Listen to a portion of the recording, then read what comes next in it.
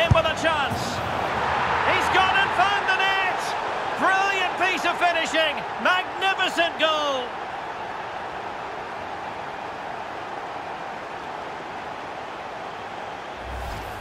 Well, here's the replay, and just look how quickly they break forward once they win the ball back. And once he gets onto it, he just smashes it past the keeper with great technique.